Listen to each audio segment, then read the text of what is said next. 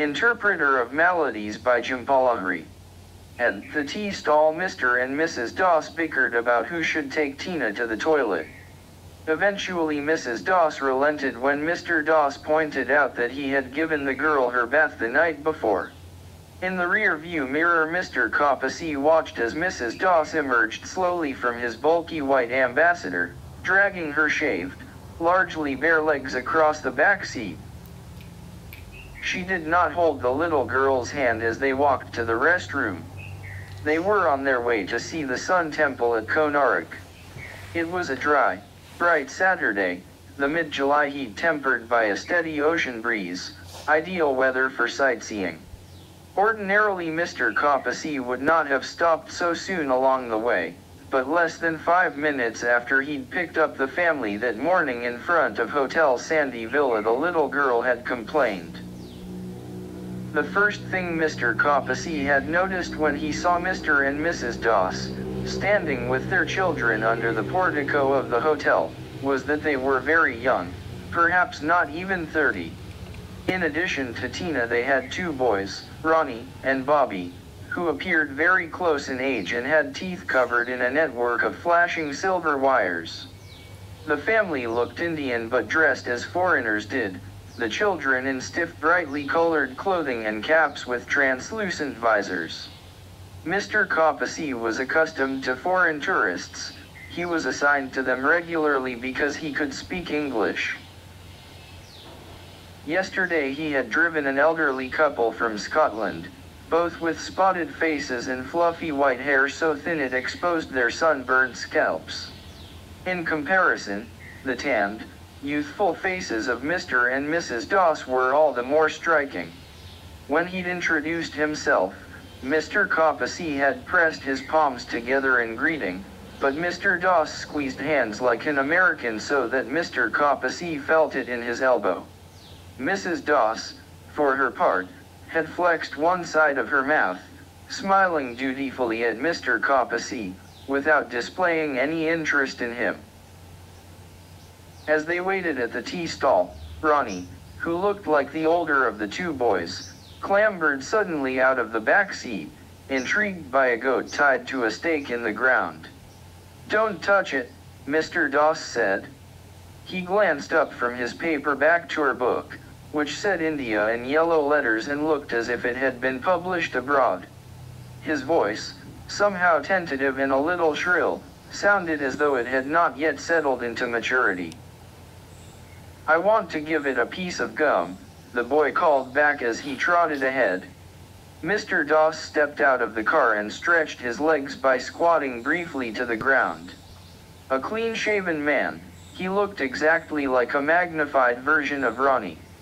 He had a sapphire blue visor, and was dressed in shorts, sneakers, and a t-shirt.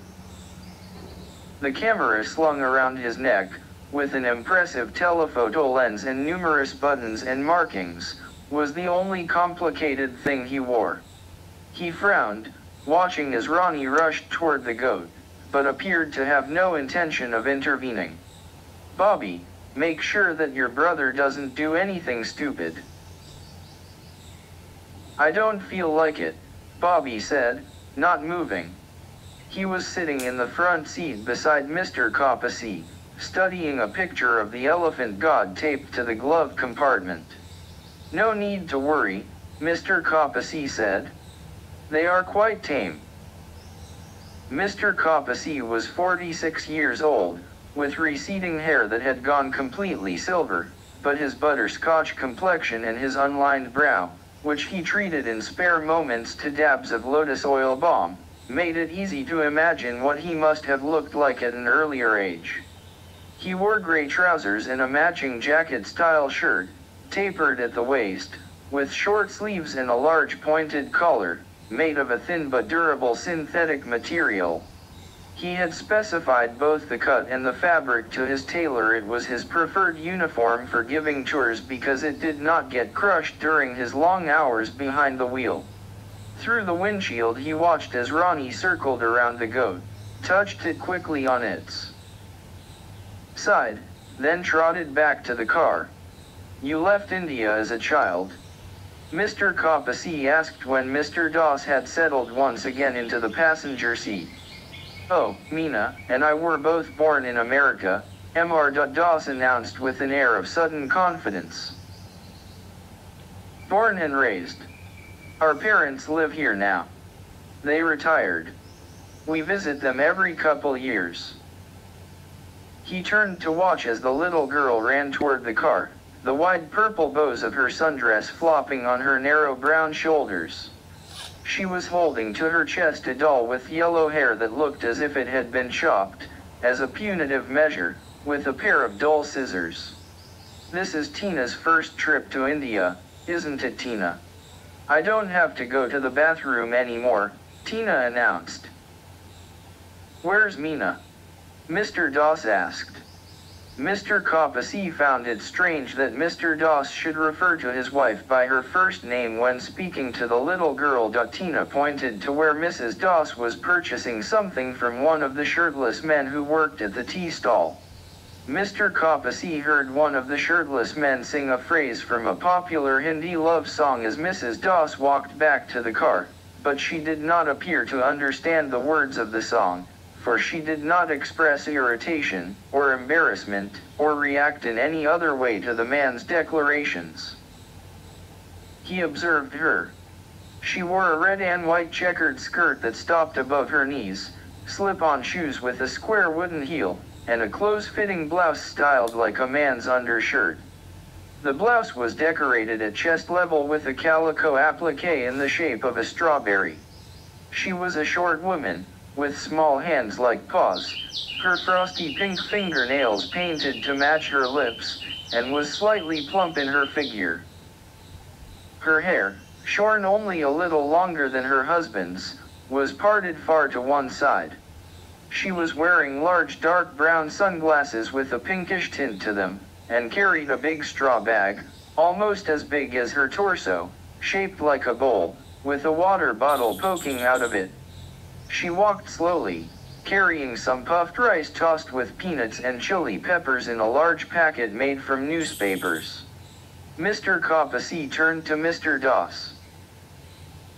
Where in America do you live? New Brunswick, New Jersey. Next to New York. Exactly. At each middle school there. What subject? Science. In fact, Every year I take my students on a trip to the Museum of Natural History in New York City. In a way we have a lot in common, you could say, you and I how long have you been a tour guide, Mr. Kapasi? Five years.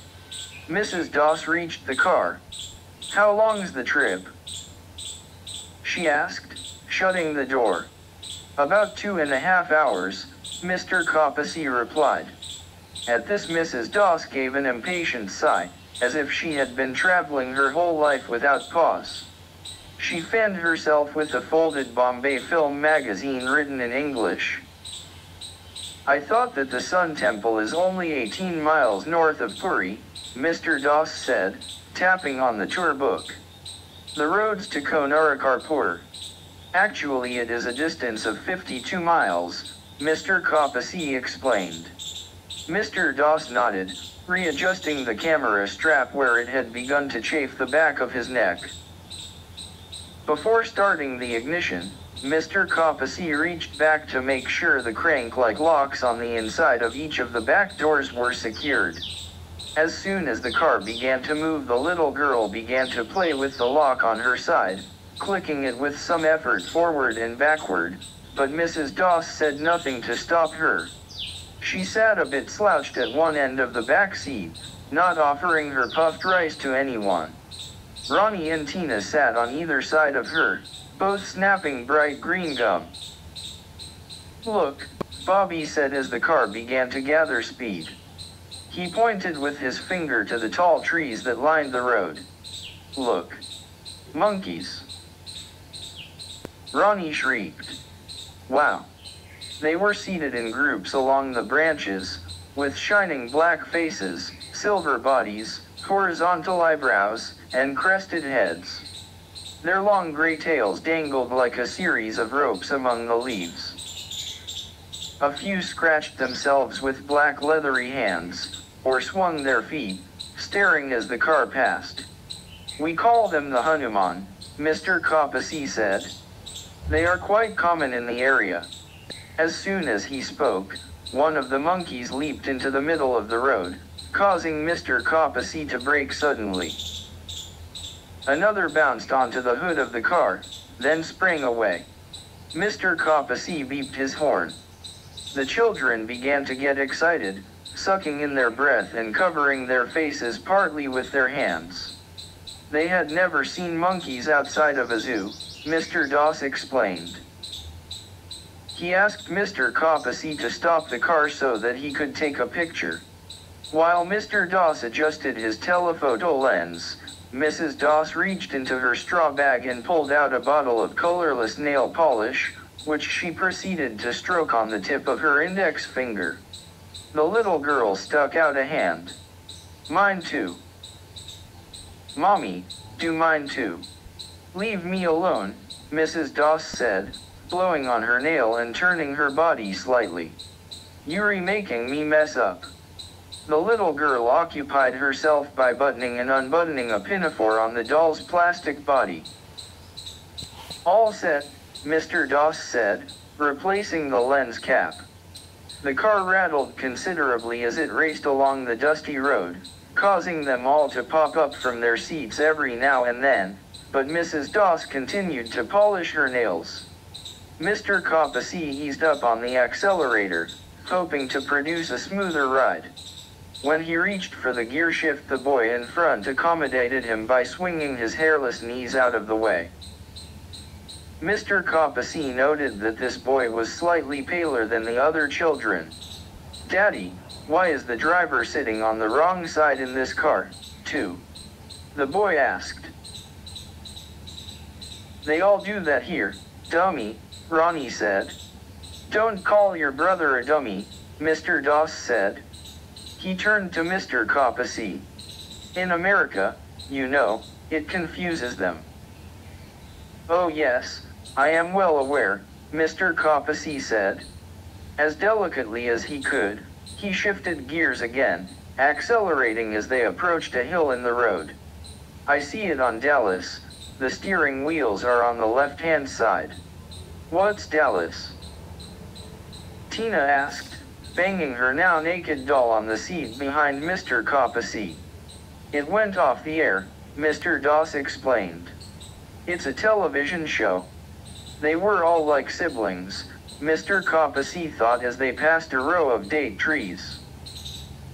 Mr. and Mrs. Das behaved like an older brother and sister, not parents. It seemed that they were in charge of the children only for the day, it was hard to believe they were regularly responsible for anything other than themselves. Mr. Das tapped on his lens cap and his tour book, dragging his thumbnail occasionally across the pages so that they made a scraping sound. Mrs. Das continued to polish her nails. She had still not removed her sunglasses. Every now and then Tina renewed her plea that she wanted her nails done, too and so at one point Mrs. Das flicked a drop of polish on the little girl's finger before depositing the bottle back inside her straw bag. Isn't this an air-conditioned car? She asked, still blowing on her hand. The window on Tina's side was broken and could not be rolled down. Quit complaining, Mr. Das said. It isn't so hot. I told you to get a car with air conditioning, Mrs. Das continued. Why do you do this, Raj, just to save a few stupid rupees? What are you saving us? 50 cents. Their accents sounded just like the ones Mr. Kapasi heard on American television programs, though not like the ones on Dallas. Doesn't it get tiresome, Mr. Kapasi, showing people the same thing every day? Mr. Das asked, rolling down his own window all the way. Hey, do you mind stopping the car? I just want to get a shot of this guy. Mr. Kapasi pulled over to the side of the road as Mr. Das took a picture of a barefoot man, his head wrapped in a dirty turban, seated on top of a cart of grain sacks pulled by a pair of bullocks. Both the man and the bullocks were emaciated. In the back seat Mrs. Das gazed out another window, at the sky, where nearly transparent clouds passed quickly in front of one another. I look forward to it actually, Mr. Kapasi said as they continued on their way. The Sun Temple is one of my favorite places. In that way it is a reward for me. I give tours on Fridays and Saturdays only. I have another job during the week. Oh? Where? Mr. Das asked. I work in a doctor's office. You are a doctor. I am not a doctor. I work with one. As an interpreter. What does a doctor need an interpreter for? He has a number of Gujarati patients. My father was Gujarati, but many people do not speak Gujarati in this area, including the doctor. And so the doctor asked me to work in his office, interpreting what the patients say. Interesting. I've never heard of anything like that, Mr. Das said. Mr. Kapasi shrugged. It is a job like any other. But so romantic, Mrs. Das said dreamily, breaking her extended silence. She lifted her pinkish brown sunglasses and arranged them on top of her head like a tiara. For the first time, her eyes met Mr. Kapasi's in the rear view mirror, pale, a bit small, their gaze fixed but drowsy. Mr. Das craned to look at her. What's so romantic about it? I don't know. Something. She shrugged, knitting her brows together for an instant. Would you like a piece of gum, Mr. Kapasi? She asked brightly. She reached into her straw bag and handed him a small square wrapped in green and white striped paper. As soon as Mr. Kapasi put the gum in his mouth a thick sweet liquid burst onto his tongue. Tell us more about your job, Mr. Kapasi, Mrs. Das said. What would you like to know, madam? I don't know, again she shrugged, munching on some puffed rice and licking the mustard oil from the corners of her mouth. Tell us a typical situation. She settled back in her seat, her head tilted in a patch of sun, and closed her eyes. I want to picture what happens. Very well. The other day a man came in with a pain in his throat. Did he smoke cigarettes? No, it was very curious. He complained that he felt as if there were long pieces of straw stuck in his throat. When I told the doctor he was able to prescribe the proper medication. That's so neat. Yes, Mr. Kapasi agreed after some hesitation.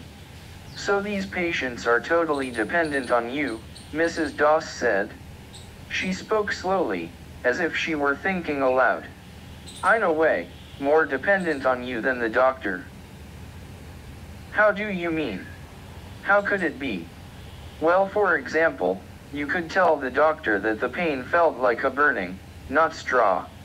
The patient would never know what you had told the doctor, and the doctor wouldn't know that you had told the wrong thing. It's a big responsibility.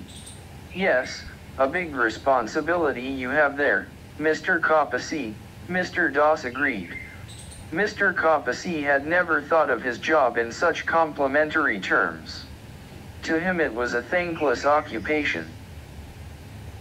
He found nothing noble in interpreting people's maladies, assiduously translating the symptoms of so many swollen bones, countless cramps of bellies and bowels, spots on people's palms that changed color, shape, or size.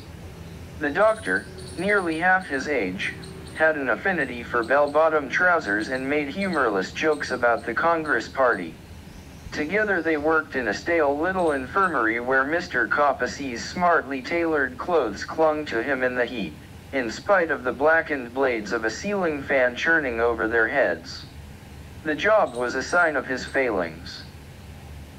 In his youth he'd been a devoted scholar of foreign languages, the owner of an impressive collection of dictionaries. He had dreamed of being an interpreter for diplomats and dignitaries, resolving conflicts between people and nations, settling disputes of which he alone could understand both sides. He was a self-educated man. In a series of notebooks, in the evenings before his parents settled his marriage, he had listed the common etymologies of words, and at one point in his life he was confident that he could converse, if given the opportunity, in English, French, Russian, Portuguese, and Italian, not to mention Hindi, Bengali, Oriya, and Gujarati. Now only a handful of European phrases remained in his memory, scattered words for things like saucers and chairs. English was the only non-Indian language he spoke fluently anymore. Mr. Kapasi knew it was not a remarkable talent. Sometimes he feared that his children knew better English than he did, just from watching television. Still it came in handy for the tours. He had taken the job as an interpreter after his first son, at the age of seven, contracted typhoid that was how he had first made the acquaintance of the doctor. At the time Mr. Kapasi had been teaching English in a grammar school, and he bartered his skills as an interpreter to pay the increasingly exorbitant medical bills. In the end the boy had died one evening in his mother's arms, his limbs burning with fever, but then there was the funeral to pay for, and the other children who were born soon enough, and the newer, bigger house, and the good schools and tutors, and the fine shoes and the television, and the countless other ways he tried to console his wife and to keep her from crying in her sleep.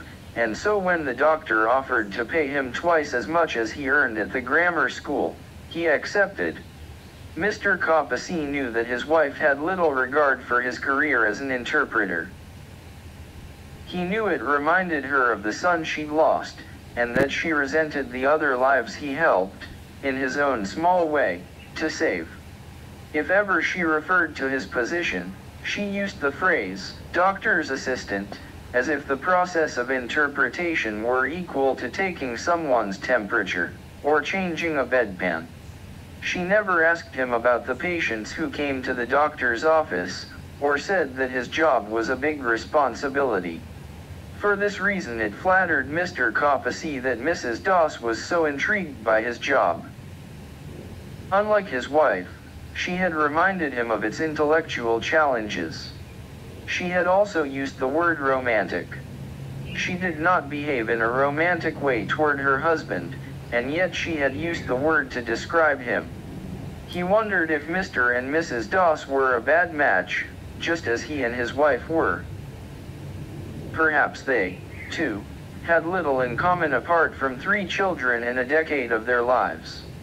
The signs he recognized from his own marriage were there the bickering, the indifference, the protracted silences. Her sudden interest in him, an interest she did not express in either her husband or her children, was mildly intoxicating. When Mr. Kapasi thought once again about how she had said romantic, the feeling of intoxication grew. He began to check his reflection in the rear view mirror as he drove, feeling grateful that he had chosen the gray suit that morning and not the brown one, which tended to sag a little in the knees. From time to time he glanced through the mirror at Mrs. Das. In addition to glancing at her face he glanced at the strawberry between her breasts, and the golden brown hollow in her throat. He decided to tell Mrs. Das about another patient, and another, the young woman who had complained of a sensation of raindrops in her spine, the gentleman whose birthmark had begun to sprout hairs. Mrs. Das listened attentively, stroking her hair with a small plastic brush that resembled an oval bed of nails, asking more questions, for yet another example. The children were quiet, intent on spotting more monkeys in the trees, and Mr. Das was absorbed by his tour book, so it seemed like a private conversation between Mr. Kapasi and Mrs. Das. In this manner the next half hour passed, and when they stopped for lunch at a roadside restaurant that sold fritters and omelette sandwiches, usually something Mr. Kapasi looked forward to on his tours so that he could sit in peace and enjoy some hot tea, he was disappointed. As the Das family settled together under a magenta umbrella fringed with white and orange tassels, and placed their orders with one of the waiters who marched about in trick-ornered caps, Mr. Kapasi reluctantly headed toward a neighboring table. Mr. Kapasi, wait. There's room here, Mrs. Das called out. She gathered Tina onto her lap, insisting that he accompany them. And so, together, they had bottled mango juice and sandwiches and plates of onions and potatoes deep fried in graham flour batter. After finishing two omelette sandwiches Mr. Das took more pictures of the group as they ate. How much longer? He asked Mr. Kapasi as he paused to load a new roll of film in the camera. About half an hour more. By now the children had gotten up from the table to look at more monkeys perched in a nearby tree, so there was a considerable space between Mrs. Das and Mr. Kapasi. Mr. Das placed the camera to his face and squeezed one eye shut, his tongue exposed at one corner of his mouth. This looks funny. Mina, you need to lean in closer to Mr. Kapasi. She did. He could smell a scent on her skin, like a mixture of whiskey and rose water. He worried suddenly that she could smell his perspiration, which he knew had collected beneath the synthetic material of his shirt. He polished off his mango juice in one gulp and smoothed his silver hair with his hands. A bit of the juice dripped onto his chin. He wondered if Mrs. Das had noticed. She had not. What's your address, Mr. Kapasi? She inquired, fishing for something inside her straw bag. You would like my address. So we can send you copies, she said. Of the pictures. She handed him a scrap of paper which she had hastily ripped from a page of her film magazine. The blank portion was limited, for the narrow strip was crowded by lines of text and a tiny picture of a hero and heroine embracing under a eucalyptus tree. The paper curled as Mr. Kapasi wrote his address in clear, careful letters. She would write to him, asking about his days interpreting at the doctor's office, and he would respond eloquently, choosing only the most entertaining anecdotes, ones that would make her laugh out loud as she read them in her house in New Jersey. In time she would reveal the disappointment of her marriage, and he his. In this way their friendship would grow, and flourish. He would possess a picture of the two of them, eating fried onions under a magenta umbrella, which he would keep, he decided, safely tucked between the pages of his Russian grammar. As his mind raced, Mr. Kapasi experienced a mild and pleasant shock. It was similar to a feeling he used to experience long ago when, after months of translating with the aid of a dictionary, he would finally read a passage from a French novel, or an Italian sonnet, and understand the words, one after another, unencumbered by his own efforts. In those moments Mr. Kapasi used to believe that all was right with the world, that all struggles were rewarded, that all of life's mistakes made sense in the end. The promise that he would hear from Mrs. Das now filled him with the same belief. When he finished writing his address Mr. Kapasi handed her the paper, but as soon as he did so he worried that he had either misspelled his name, or accidentally reversed the numbers of his postal code. He dreaded the possibility of a lost letter, the photograph never reaching him, hovering somewhere in Orissa, close but ultimately unattainable. He thought of asking for the slip of paper again, just to make sure he had written his address accurately, but Mrs. Das had already dropped it into the jumble of her bag. They reached Konark at 2.30. The temple, made of sandstone, was a massive pyramid-like structure in the shape of a chariot. It was dedicated to the great master of life the sun, which struck three sides of the edifice as it made its journey each day across the sky. Twenty-four giant wheels were carved on the north and south sides of the plinth. The whole thing was drawn by a team of seven horses, speeding as if through the heavens. As they approached, Mr. Kapasi explained that the temple had been built between AD 1243 and 1255, with the efforts of 1200 artisans, by the great ruler of the Ganga dynasty, King Narasimhadeva I, to commemorate his victory against the Muslim army. It says the temple occupies about 170 acres of land, Mr. Das said, reading from his book. It's like a desert, Ronnie said, his eyes wandering across the sand that stretched on all sides beyond the temple. The Chandrabhaga River once flowed one mile north of here. It is dry now, Mr. Kapasi said, turning off the engine.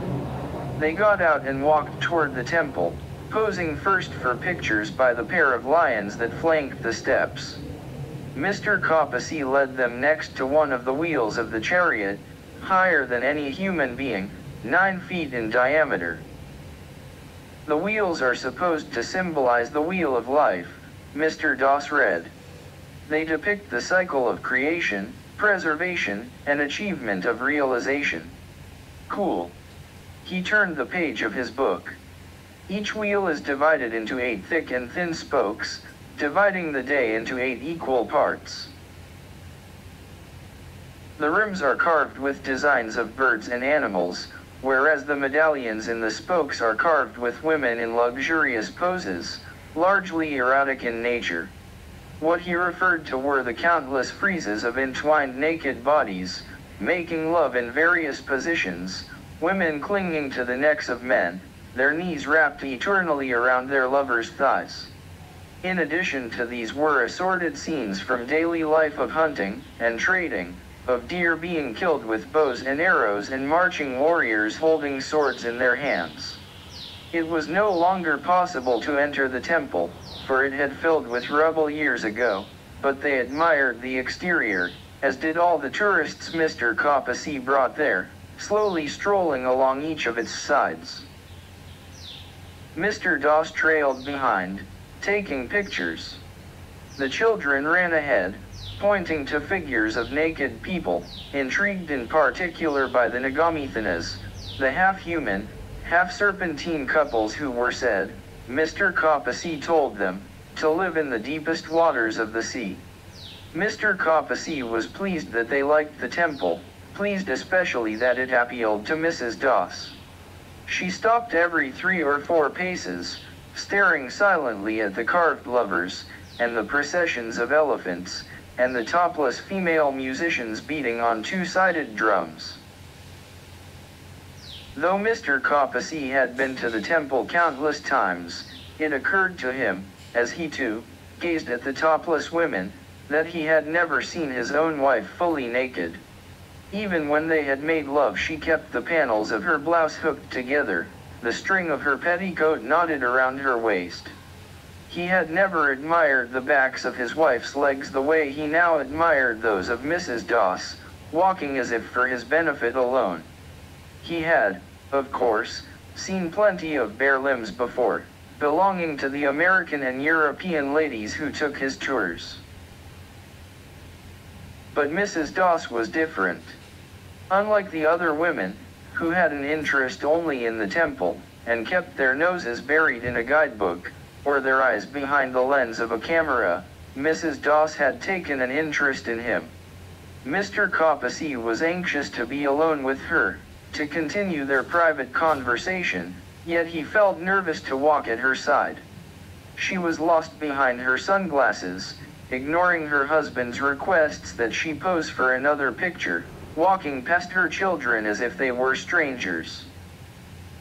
Worried that he might disturb her, Mr. Kapasi walked ahead, to admire, as he always did, the three life-sized bronze avatars of Surya, the sun god, each emerging from its own niche on the temple facade to greet the sun at dawn, noon, and evening.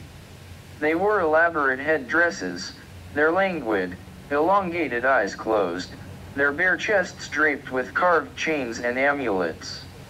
Hibiscus petals, offerings from previous visitors, were strewn at their gray-green feet.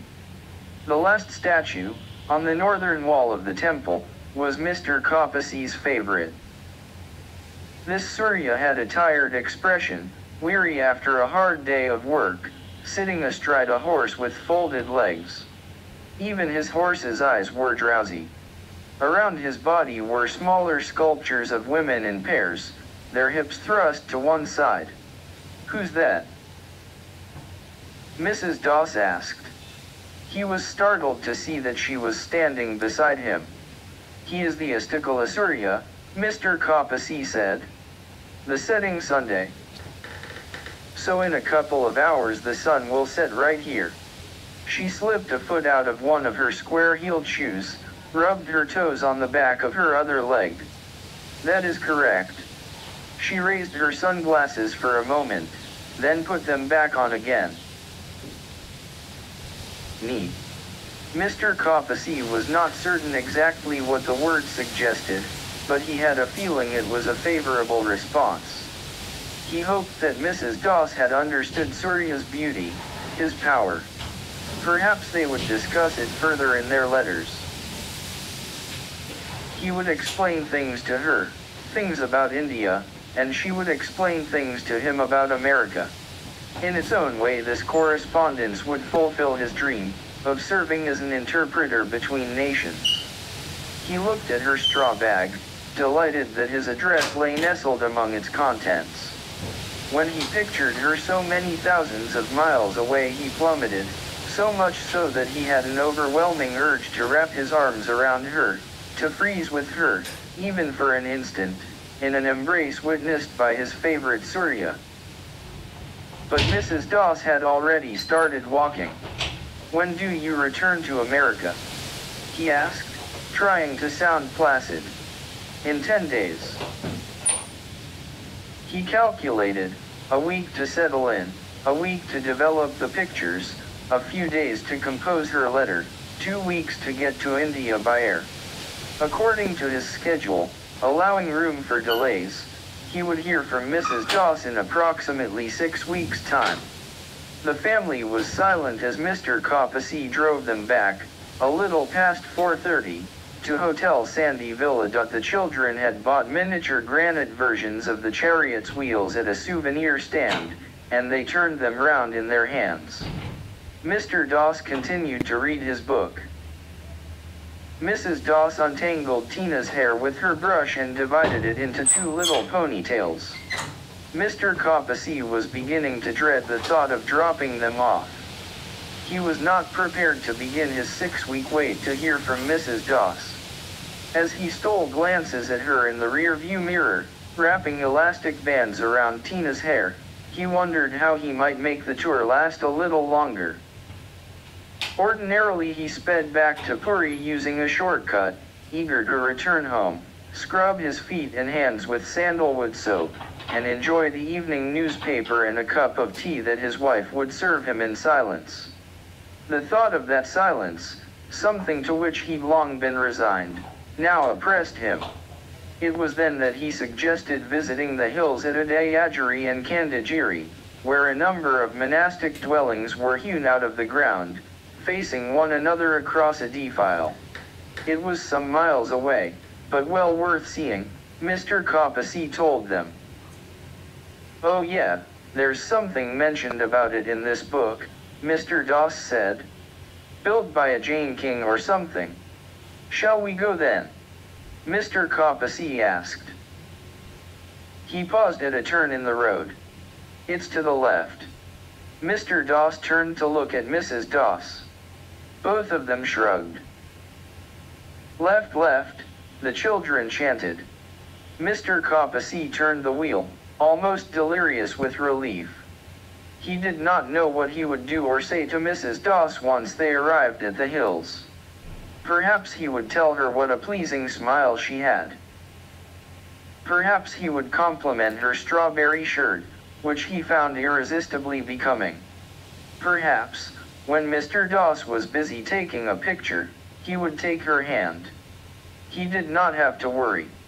When they got to the hills, divided by a steep path thick with trees, Mrs. Das refused to get out of the car. All along the path, dozens of monkeys were seated on stones, as well as on the branches of the trees. Their hind legs were stretched out in front and raised to shoulder level, their arms resting on their knees. My legs are tired, she said, sinking low in her seat. I'll stay here. Why did you have to wear those stupid shoes? Mr. Das said. You won't be in the pictures. Pretend I'm there. But we could use one of these pictures for our Christmas card this year. We didn't get one of all five of us at the Sun Temple. Mr. Kapasi could take it. I'm not coming. Anyway, those monkeys give me the creeps. But they're harmless, Mr. Das said. He turned to Mr. Kapasi. Aren't they? They are more hungry than dangerous, Mr. Kapasi said. Do not provoke them with food, and they will not bother you. Mr. Das headed up the defile with the children, the boys at his side, the little girl on his shoulders. Mr. Kapasi watched as they crossed paths with a Japanese man and woman, the only other tourists there, who paused for a final photograph, then stepped into a nearby car and drove away.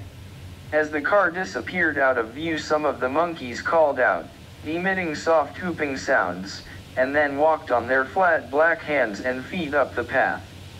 At one point a group of them formed a little ring around Mr. Das and the children. Tina screamed in delight. Ronnie ran in circles around his father. Bobby bent down and picked up a fet stick on the ground.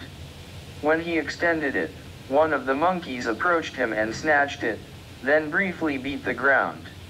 I'll join them, Mr. Kapasi said, unlocking the door on his side. There is much to explain about the caves. No stay a minute, Mrs. Das said. She got out of the back seat and slipped in beside Mr. Kapasi. Raj has his dumb book anyway. Together, through the windshield, Mrs. Das and Mr. Kapasi watched as Bobby and the monkey passed the stick back and forth between them. A brave little boy, Mr. Kapasi commented. It's not so surprising. Mrs. Das said. No. He's not his. I beg your pardon. Raj's. He's not Raj's son. Mr. Kapasi felt a prickle on his skin. He reached into his shirt pocket for the small tin of lotus oil balm he carried with him at all times, and applied it to three spots on his forehead. He knew that Mrs. Das was watching him, but he did not turn to face her. Instead he watched as the figures of Mr. Das and the children grew smaller, climbing up the steep path, pausing every now and then for a picture, surrounded by a growing number of monkeys. Are you surprised? The way she put it made him choose his words with care. It's not the type of thing one assumes, Mr. Kapasi replied slowly. He put the tin of lotus oil balm back in his pocket. No, of course not. And no one knows, of course. No one at all.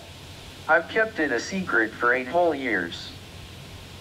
She looked at Mr. Kapasi, tilting her chin as if to gain a fresh perspective. But now I've told you, Mr. Kapasi nodded. He felt suddenly parched, and his forehead was warm and slightly numb from the balm. He considered asking Mrs. Das for a sip of water, then decided against it. We met when we were very young, she said. She reached into her straw bag in search of something, then pulled out a packet of puffed rice. Want some? No thank you. She put a fistful in her mouth, sank into the seat a little and looked away from Mr. Kapasi, out the window on her side of the car. We married when we were still in college. We were in high school when he proposed. We went to the same college, of course. Back then we couldn't stand the thought of being separated, not for a day, not for a minute. Our parents were best friends who lived in the same town. My entire life I saw him every weekend, either at our house or theirs. We were sent upstairs to play together while our parents joked about our marriage. Imagine. They never caught us at anything, though in a way I think it was all more or less a setup. The things we did those Friday and Saturday nights, while our parents sat downstairs drinking tea.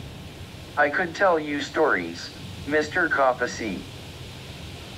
As a result of spending all her time in college with Raj, she continued, she did not make many close friends. There was no one to confide in about him at the end of a difficult day, or to share a passing thought or a worry. Her parents now lived on the other side of the world, but she had never been very close to them, anyway. After marrying so young she was overwhelmed by it all, having a child so quickly, and nursing, and warming up bottles of milk and testing their temperature against her wrist while Raj was at work, dressed in sweaters and corduroy pants, teaching his students about rocks and dinosaurs.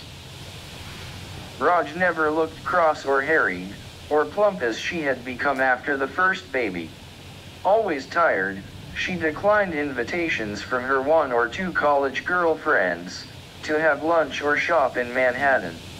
Eventually the friends stopped calling her, so that she was left at home all day with the baby, surrounded by toys that made her trip when she walked or wince when she sat, always cross and tired. Only occasionally did they go out after Ronnie was born, and even more rarely did they entertain. Raj didn't mind. He looked forward to coming home from teaching and watching television and bouncing Ronnie on his knee. She had been outraged when Raj told her that a Punjabi friend, someone whom she had once met but did not remember, would be staying with them for a week for some job interviews in the New Brunswick area. Bobby was conceived in the afternoon, on a sofa littered with rubber teething toys, after the friend learned that a London pharmaceutical company had hired him, while Ronnie cried to be freed from his playpen. She made no protest when the friend touched the small of her back as she was about to make a pot of coffee, then pulled her against his crisp navy suit. He made love to her swiftly, in silence, with an expertise she had never known, without the meaningful expressions and smiles Raj always insisted on afterward. The next day Raj drove the friend to JFK. He was married now, to a Punjabi girl and they lived in London still and every year they exchanged Christmas cards with Raj and Meena, each couple tucking photos of their families into the envelopes. He did not know that he was Bobby's father. He never would. I beg your pardon, Mrs. Das, but why have you told me this information? Mr. Kapasi asked when she had finally finished speaking, and had turned to face him once again. For God's sake, stop calling me Mrs. Das. I'm 28. You probably have children my age. Not quite. It disturbed Mr. Kapasi to learn that she thought of him as a parent. The feeling he had had toward her, that had made him check his reflection in the rear view mirror as they drove, evaporated a little. I told you because of your talents. She put the packet of puffed rice back into her bag without folding over the top. I don't understand, Mr. Kapasi said. Don't you see? For eight years I haven't been able to express this to anybody, not to friends, Certainly not to Raj. He doesn't even suspect it. He thinks I'm still in love with him. Well, don't you have anything to say? About what? About what I've just told you. About my secret, and about how terrible it makes me feel. I feel terrible looking at my children, and at Raj, always terrible. I have terrible urges, Mr. Kapasi to throw things away. One day I had the urge to throw everything I own out the window, the television, the children, everything. Don't you think it's unhealthy? He was silent. Mr. Kapasi, don't you have anything to say? I thought that was your job. My job is to give tours, Mrs. Das. Not that. Your other job. As an interpreter. But we do not face a language barrier. What need is there for an interpreter? That's not what I mean. I would never have told you otherwise. Don't you realize what it means for me to tell you? What does it mean? It means that I'm tired of feeling so terrible all the time. Eight years, Mr. Kapasi, I've been in pain eight years. I was hoping you could help me feel better, say the right thing. Suggest some kind of remedy. He looked at her, in her red plaid skirt and strawberry t-shirt, a woman not yet 30, who loved neither her husband nor her children, who had already fallen out of love with life. Her confession depressed him, depressed him all the more when he thought of Mr. Das at the top of the path, Tina clinging to his shoulders, taking pictures of ancient monastic cells cut into the hills to show his students in America, unsuspecting and unaware that one of his sons was not his own. Mr. Kapasi felt insulted that Mrs. Das should ask him to interpret her common, trivial little secret. She did not resemble the patients in the doctor's office, those who came glassy-eyed and desperate, unable to sleep or breathe or urinate with ease, unable, above all, to give words to their pains. Still, Mr. Kapasi believed it was his duty to assist Mrs. Das. Perhaps he ought to tell her to confess the truth to Mr. Das. He would explain that honesty was the best policy. Honesty, surely, would help her feel better, as she'd put it. But Perhaps he would offer to preside over the discussion, as a mediator. He decided to begin with the most obvious question, to get to the heart of the matter, and so he asked, Is it really pain you feel, Mrs. Das, or is it guilt? She turned to him and glared, mustard oil thick on her frosty pink lips. She opened her mouth to say something, but as she glared at Mr. Kapasi some certain knowledge seemed to pass before her eyes, and she stopped. It crushed him. He knew at that moment that he was not even important enough to be properly insulted. She opened the car door and began walking up the path, wobbling a little on her square wooden heels, reaching into her straw bag to eat handfuls of puffed rice. It fell through her fingers, leaving a zigzagging trail, causing a monkey to leap down from a tree and devour the little white grains. In search of more, the monkey began to follow Mrs. Das. Others joined him, so that she was soon being followed by about half a dozen of them, their velvety tails dragging behind. Mr. Kapasi stepped out of the car. He wanted to holler, to alert her in some way, but he worried that if she knew they were behind her, she would grow nervous. Perhaps she would lose her balance. Perhaps they would pull at her bag or her hair. He began to jog up the path, taking a fallen branch in his hand to scare away the monkeys. Mrs. Das continued walking, oblivious, trailing grains of puffed rice. Near the top of the incline, before a group of cells fronted by a row of squat stone pillars, Mr. Das was kneeling on the ground, focusing the lens of his camera. The children stood under the arcade, now hiding, now emerging from view. Wait for me, Mrs. Das called out. I'm coming. Tina jumped up and down. Here comes mommy.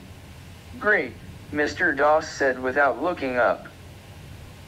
Just in time. We'll get Mr. Kapasi to take a picture of the five of us. Mr. Kapasi quickened his pace, waving his branch so that the monkeys scampered away, distracted, in another direction. Where's Bobby? Mrs. Das asked when she stopped. Mr. Das looked up from the camera. I don't know. Ronnie, where's Bobby? Ronnie shrugged. I thought he was right here. Where is he? Mrs. Das repeated sharply. What's wrong with all of you? They began calling his name, wandering up and down the path a bit. Because they were calling, they did not initially hear the boy's screams. When they found him, a little farther down the path under a tree, he was surrounded by a group of monkeys, over a dozen of them, pulling at his t-shirt with their long black fingers. The puffed rice Mrs. Das had spilled was scattered at his feet, raked over by the monkey's hands. The boy was silent, his body frozen, swift tears running down his startled face. His bare legs were dusty and red with welts from where one of the monkeys struck him repeatedly with the stick he had given to it earlier. Daddy, the monkey's hurting Bobby, Tina said. Mr. Das wiped his palms on the front of his shorts. In his nervousness he accidentally pressed the shutter on his camera, the whirring noise of the advancing film excited the monkeys, and the one with the stick began to beat Bobby more intently. What are we supposed to do? What if they start attacking? Mr. Kapasi, Mrs. Das shrieked, noticing him standing to one side. Do something, for God's sake, do something. Mr. Kapasi took his branch and shooed them away, hissing at the ones that remained, stomping his feet to scare them. The animals retreated slowly, with a measured gait, obedient but unintimidated. Mr. Kapasi gathered Bobby in his arms and brought him back to where his parents and siblings were standing. As he carried him he was tempted to whisper a secret into the boy's ear. But Bobby was stunned, and shivering with fright, his legs bleeding slightly where the stick had broken the skin. When Mr. Kapasi delivered him to his parents, Mr. Das brushed some dirt off the boy's t-shirt and put the visor on him the right way. Mrs. Das reached into her straw bag to find a bandage which she taped over the cut on his knee. Ronnie offered his brother a fresh piece of gum. He's fine. Just a little scared, right, Bobby? Mr. Das said, patting the top of his head.